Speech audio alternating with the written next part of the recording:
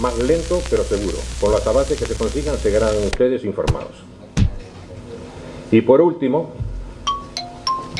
adentrarles que durante mi comparecencia en sesión plenaria, de manera pública y delante de los vecinos, ya tenemos plan en Gondomar.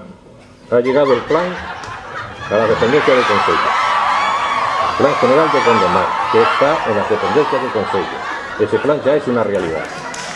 Y, no como leímos en algún medio de comunicación que vinculaban la redacción del plan ya rematado con el calendario de pagos previsto por la Junta, pese que ya lo aclaró el alcalde el 17 de julio de 2002.